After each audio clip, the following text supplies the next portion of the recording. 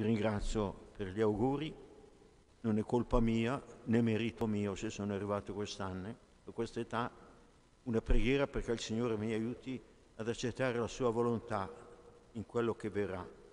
Vi voglio bene.